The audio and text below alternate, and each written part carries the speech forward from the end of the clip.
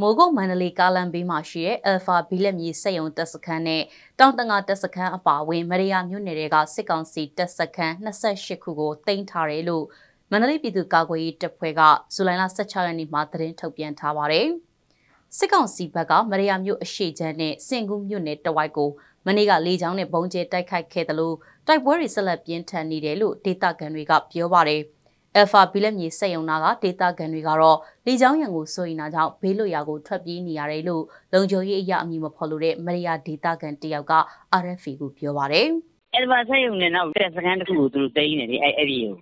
မနေ့ကတည်းကပေါ့အဲ့ဒါဖြစ်နေတာအသေးတန်အလေးချောင်းကလည်းသူတို့အဲဟွာတိုက်လေရင်ပြန်တယ်ဒီရဲ့မမြင်ဘုံကျဲတဲ့အဲဟွာတွေတော့သွားတယ်ဒီရင်အသေးသားတွေလေအဲ့ဒါတွေတော့သွားတာတွေ့တယ်။ဟိုမှာဟို Alpha စက်ရုံကတဝိုက်ရွာတွေရှိတာပဲလေ အဲ့လိုနေရာတွေကတော့ရှောင်ရတော့ဘယ်သူတို့နဲ့ထိတ်လိုက်တယ်သူတို့ကပြီးတယ်မဲ့အကုန်လူသိကြီးတာမဟုတ်ဘူးအကုန်လုံးလုံမှာပဲလေမနေ့ကတရက်ထဲမှာပဲစင်ကူးမြို့နယ်တွေကိုလည်းစစ်ကောင်စီကလေကြောင်းနဲ့အကြိမ်ကြိမ်ဘုံကျဲတိုက်ခိုက်ခဲ့တာကြောင့်ဒေသခံ20ခန့်ဒဏ်ရာရရှိခဲ့တယ်လို့စင်ကူးမြို့နယ်ပြည်သူ့ကာကွယ်ရေးတပ်ဖွဲ့က RFA ကိုပြောပါရယ် တိုက်ပွဲပြင်းထန်နေပြီးဒေသခံတွေမြို့အပြင်ထွက်ချင်ကြပေမဲ့လမ်းကြောင်းတွေပိတ်ထားတာကြောင့်ထွက်လို့မရဘူးလို့အမည်မဖော်လို့တဲ့စင်ကူးဒေသခံတယောက်ကပြောပါတယ်လေကြောင်းကနေဒရဇက်ပြစ်နေတော့အန်တီတို့ကအပေါ်မော့တော်မကြည့်ရ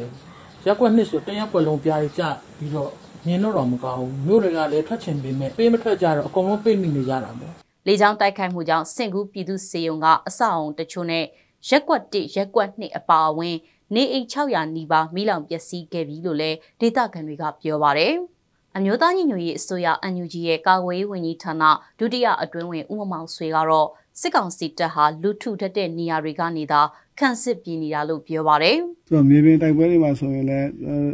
စစ်ကောင်စီကဒါခန့်စစ်စခန်းတွေကိုစွန့်တယ်စွန့်ပြီးတော့သူတို့ဟို